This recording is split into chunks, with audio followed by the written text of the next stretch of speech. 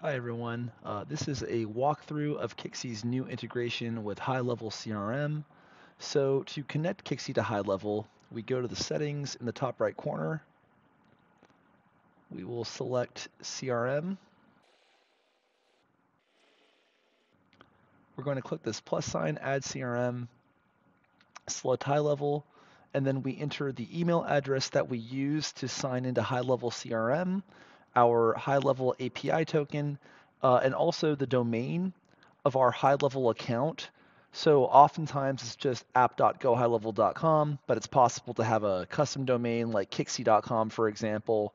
Um, so basically, whatever the domain says when you sign into HighLevel, you just come over here, copy and paste it, copy and paste this part, and plug it in here just like I've done.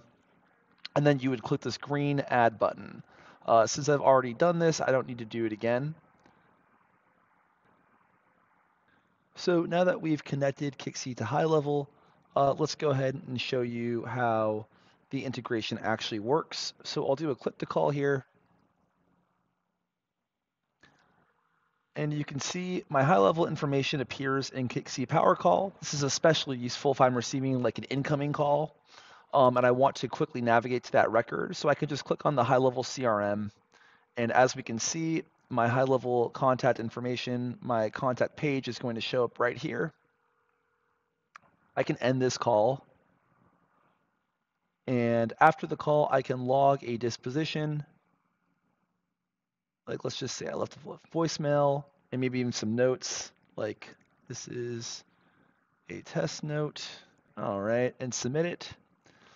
And I'll also send a text message. And we can see that all these activities log to the HighLevel record. So I'll show you how they log. Click on notes over here.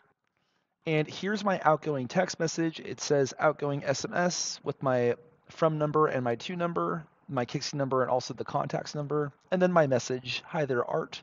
This is Aldo calling from Kixie. Uh, the outcome that I logged is, is, logged separately, and so we can see here that the disposition of voicemail was selected, and here's the test note that I wrote after. And then here's a, a third note for the call itself. So when the call happened, this initial note was created, then I logged the outcome and it was logged here, and then I logged the SMS and it was logged here separately. Uh, and all of these are notes in HighLevel, um, and this is how they appear.